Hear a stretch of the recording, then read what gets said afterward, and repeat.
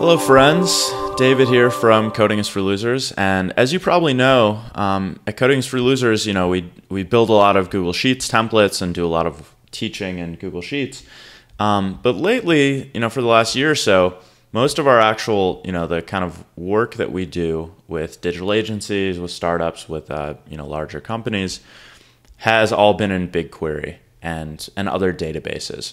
Um, doing stuff like you know building data pipelines and and really like a full analysis stack versus just working in Google Sheets. So one thing that we've needed to do is bridge between them. So take data that's in a Google Sheet, say it's you know data from an add-on like Supermetrics, you know Facebook ads data or something like that, um, and get it into BigQuery so that we can use it as part of our pipeline. So to facilitate that process, we've built an add-on, uh, which we'll call the BigQuery connector from Coding is for Losers, that I'm going to walk you through how we use it today. Basically, it does two things. It pushes data up from Sheets to BigQuery, um, which no other tool that I'm aware of uh, does in this way. Um, and it also will pull data down from, uh, from BigQuery back into your sheet. So we're going to demo both of those today. First things first, we'll just go to the add-ons menu to the CIFL BigQuery connector. We'll install it. Okay. And then we're going to launch the sidebar. I've actually already gone through, you know, you'll log in and set up an account. Actually here, need to need to log in here. Let's log in. You'll sign up if you don't already already have an account. Um, and I've already gone through the process of authenticating um, my BigQuery account, but if you're newly signing up, you'll be prompted to uh, authenticate BigQuery, which will open you know a pop-up window to, to select your account and all that stuff. Um, but I already have BigQuery connected. You can see um, all of my projects here. Don't have any data sets or tables yet. That's what we'll what we'll do here. Um, but yeah, you should see all of your BigQuery connections here. Um, so let's go ahead and let's do a, a push up to BigQuery. So let's take this data here um, and let's get it up to our, our BigQuery project here. Um, so let's call it demo push. Uh, let's make a new group. So the feed name is just whatever you'll recognize this, this push as or pull. Um, the run group means you might want to run an, a number of pushes together. So say you have five tabs down here that you want to push all at the same time on the same schedule. That's just what you know what a run group means. Um, so we'll just call this demo run group. Uh, so you select your input tab. You know which tab from Sheets are you pushing data up to, um, which is demo push. Let's select our output project, which is this uh, Sheets add-on project. We don't have any data sets yet in this project in BigQuery. Um, so let's create one. Uh, let's call it let's call it demo dataset.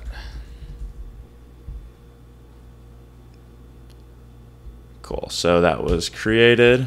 Um, so that's a really handy piece of this add-on is you can create data sets or tables on the fly, um, and it'll create the actual tables for you. So we'll call this demo table, and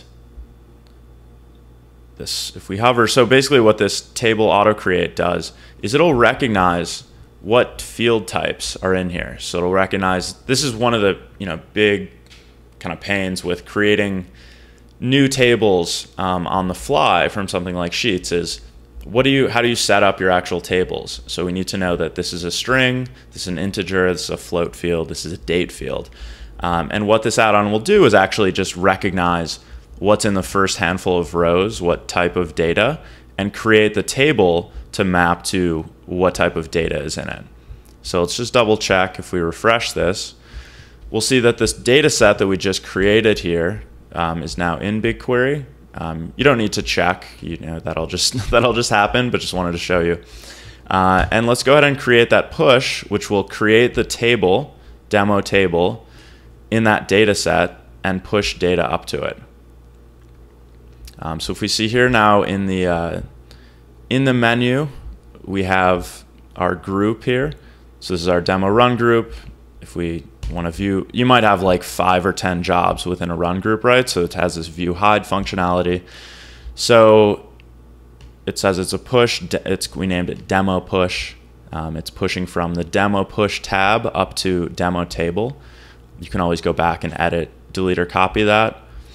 Um, but let's hide that for now. And let's just check in BigQuery. So now we see our, our table was created. We have all of our fields and field types automatically picked up. And we have our data there. So we had about 999 rows. Um, so we have, it also, it adds whatever you named that, uh, the push. So it calls it demo push. And it will add a field of when was that written. So if you're trying to do deduplication or just do an audit of when data was was posted, you have that time of entry field. Um, so that's that's basically it for the push. Um, if you want to, you know, you can schedule this job. So say we want to push data, you know, at, at two o'clock every day. You can activate that and it'll it'll create all the triggers for you. So say you have like five or ten tabs in here that are being refreshed via you know Supermetrics or something like that, and you want to push all of them up to BigQuery on a, on a schedule, um, you can set up timers timers in this way, weekly, daily, however you want to do it. Now let's go ahead and pull the data that we push up to BigQuery back down to our Google Sheet. Say we wanted to use it as part of like a forecast or some type of Sheets reporting. Um, or some type of other Sheets template that you have. Uh, we'll do this a lot at Codings for Losers, where we use BigQuery as like the data store, and then Sheets as kind of like the functional front end to uh, do some other business work, because you know Sheets is obviously the interface that that people are comfortable working in um, if they don't know SQL. So first, let's test our query. Let's just we're basically just going to pull out our string, date, etc. fields from this table. Um, and let's create a new poll. So let's call it demo poll. Let's create a new group, demo poll group. And let's drop our query in there. And we'll say, we'll output it to the demo poll tab, which is what, what this is named. Cool. So that was successful. Um, this now says, uh, oh, it, it writes our name, the name column as well up, up front, just so you know where what group it came from. This is in case if you're running um, multiple jobs from within the same group to the same tab, you might want to know like which query the data came from, if it's you know for a specific person or whatever it is. Um, so yeah, we'll see. We have all thousand rows there, so it looks like these tabs are the same that we pushed up to and pulled down from BigQuery. Um, if you want to, you can obviously schedule these jobs, or if you want to just run it from the sidebar, um, it will refresh the data at any time. And that just refreshed, we didn't see anything because the, the data is the same.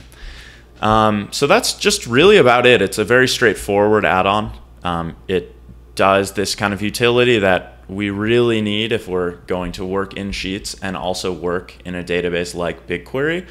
Um, so it's kind of the core bridge to uh, to allow that to happen. And hope you enjoy it. Feel free to reach out to uh, Commissioner at Coding is for Losers if you have any questions. Take care.